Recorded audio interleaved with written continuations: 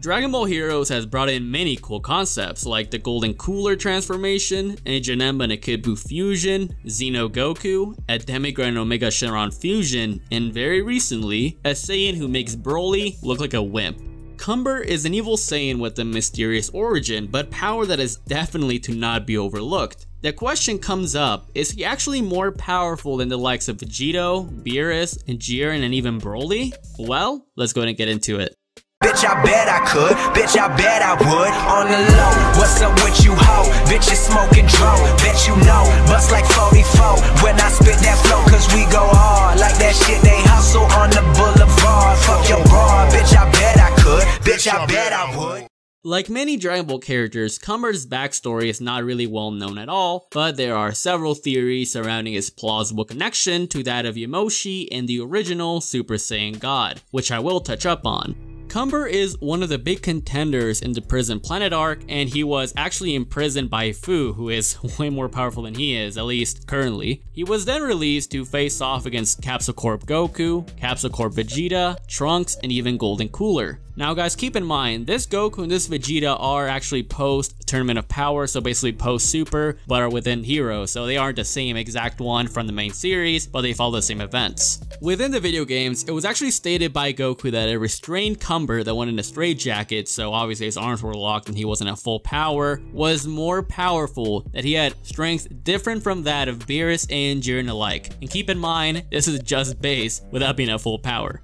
So right off the bat, they are telling us that Cumber in base is more powerful than anyone else in the Tournament of Power and more powerful than any God of Destruction, which is pretty crazy to be honest. Now within the manga, Super Saiyan God Goku and Super Saiyan Blue Vegeta were completely unable to even put a dent in Cumber, and for some reason, when uh, Cumber saw a Super Saiyan God or the red glow of that form, he went completely nuts and berserk. Now, this could actually tell us two really important things. One, this could mean that Cumber actually faced off against uh, a Super Saiyan God in the past, I mean it could have been Yamoshi, who knows, because the story of Yamoshi is that he actually faced off against evil Saiyans, and Cumber is an evil Saiyan, so I mean who knows if he has a connection to him whatsoever, or it could also mean that Cumber has actually performed the god ritual, he knows what it looks like, it could actually make sense as to why his base form is really really powerful, because he encountered a god essence. Next up, in the anime and the manga, when Super Saiyan Blue Goku and Super Saiyan Blue Vegeta were completely unable to do anything to Cumber, I mean even Golden Cooler was like spamming so many shots at Cumber, it didn't even do anything to him. So that is when Goku and Vegeta were like, yeah, we need to lay down our pride, we need to fuse and actually get this guy over and done with, or so they thought.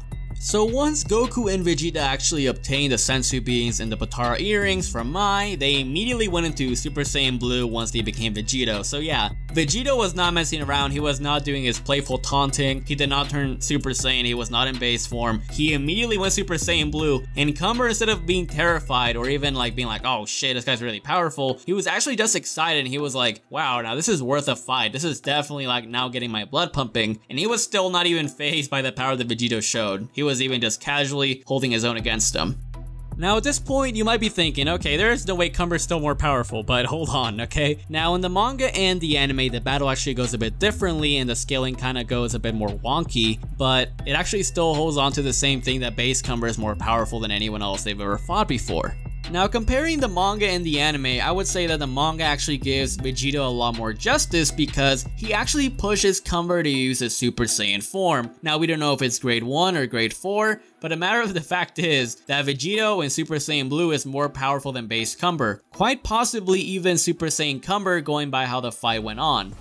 Now as the battle was heating up between Cumber and Vegito, there's actually where we get a lot more dialogue and Vegito even says, okay, now I'm gonna get serious. And that is when he actually unleashed Super Saiyan Blue Kaioken. And that's actually really crazy, like you would think that he defused right away, but he actually didn't. Now we don't know if it's times 4, times 10, times 20, but the matter of the fact is that even a Super Saiyan Cumber at this point is at least more powerful than Super Saiyan Blue Vegito in Super Saiyan. Then we get some more dialogue that is really, really concerning for how powerful Cumber is because he says, okay, now you're getting serious and I will get serious too. And that is when he actually unleashes the Golden Oozaru. So he unleashes like a power ball, he begins transforming, and that is when the manga actually, you know, finishes a chapter. So we don't even get anything past that. Now, whether you have watched my Super Saiyan Blue against Super Saiyan 4 video or even my Super Saiyan 4 multiplier video, I actually go into depth onto how Golden Oozaru could very well grant an 8 to 10 times multiplier on top of a Super Saiyan 3. So basically, this Golden Oozaru Cumber would be at least 40,000 times more powerful than base Cumber. Now you guys, if you believe that Cumber was already insanely OP in the manga, well in the anime he is even more overpowered and makes Vegito look like a completely harmless child. So essentially within the anime, Super Saiyan Blue Vegito is already struggling against a base Cumber and he even needs to use Kaioken. So Cumber at this point is not even going at full power, he's not even going Super Saiyan, he is still in base, fighting against Super Saiyan Blue Vegito. And then in the anime, they actually do a little beam clash, and Vegito actually loses it. He actually loses the beam clash against base Cumber, and then, you know, that is when we basically get the realization that Cumber was still holding a lot more power back, and that is when he finally unleashes the Golden Oozaru. Now, as impressive as it might be, uh, defeating Super Saiyan Blue Kaioken Vegito is still not the best thing that Cumber did in, you know, the manga and the anime because he actually did something that actually made Fu become personally involved. So for those of you that have played Dragon Ball Xenoverse 2, you might already know who Fu is. He is like a teenager, he's like a demon. He is the son of Mira and Towa, who are actually the main antagonists in Dragon Ball Xenoverse 2. And this guy's a troublemaker, he likes getting people from other timelines and universes and have them fight against each other for his own entertainment, kind of like a gladiator match per se. Now, he has many crazy showings in Dragon Xenoverse 2 mostly. That is where he actually debuted in the first place. And I mean, I will do a power scale on him down the line, but to give you guys a quick tease of how powerful this guy is, he could casually reset the entire infinite history within Dragon Xenoverse 2 and just confirm that there's like a, you know, infinite timelines and stuff like that. So yeah, this guy's on a whole other level. And keep in mind that he is just a teenager. He still has a lot more to go in his potential. And to prove even more that Fu is really powerful in his technology as well, he could even put ki sealing handcuffs on Cumber that he could not break out of until he actually became enraged. So Fu is already casually more powerful than Jiren and Beerus at this point, and he is, you know, he definitely has a lot more to show, and you know, store in the future. Now, as I mentioned, although it might seem really impressive that Cumber defeated Vegito and outlasted him, he actually has a much more impressive feat in his Golden Oozaru state, which actually got Fu involved once he was tearing away and causing heavy damage to the prison planet's chains.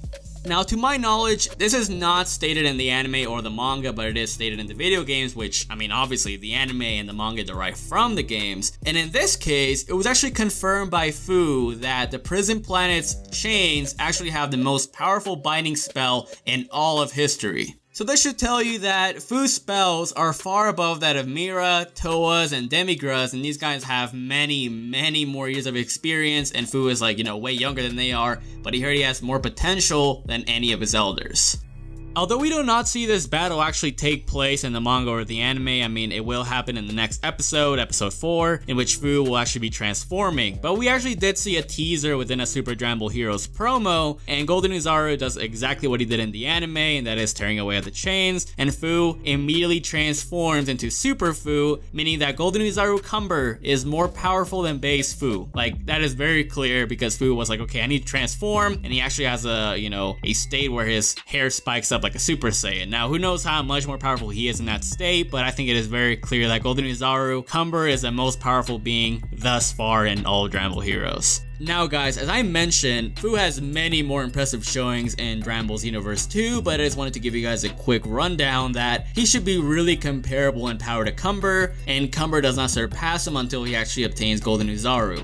Also, I'm gonna bring this up really quickly. Now, many of you guys might be questioning already on how Golden Oozaru could grant a 40,000 times boost. It is actually going by the notion that according to a manga legendario, a Spanish guide that is, you know, official to Dragon Ball, says that Super Saiyan Grade 3 offers a 10 times increase on top of Super Saiyan, and Super Saiyan Grade 4, or full power Super Saiyan, could also be, uh, you know, around that level of power, if not even higher. So I think it is very possible that going by that, that Golden Oozaru could be be 40,000 times of base form. On another note, I think it is very possible that if Cumber obtains Super Saiyan 4 or Super Saiyan Blue or even Super Saiyan God, they could actually become Angel tier, if not even more powerful than that. I mean, he is already way more powerful than any of the gods or, you know, Vegeta or Jiren and base alone, while not even being at full power. So just keep that in mind, guys. Anyways, to decipher on who is more powerful between Fu and Cumber doesn't really matter that much because the matter of the fact is these two guys are really comparable in power and they're both more powerful than Jiren, Beerus, or Super Saiyan Blue Vegito, and obviously Broly. Um, but anyways, now in the near future, I will be doing a versus battle between Cumber and Broly, and although it might already seem like Broly gets completely dominated, Seth, I think it is very possible that Broly could actually pull out a win if we incorporate things that he has in Dragon Ball Heroes and Dragon Ball Xenoverse alike. So be on the lookout for that, guys. And uh, thanks for watching, and I'll catch you, thotties, next time. Peace out.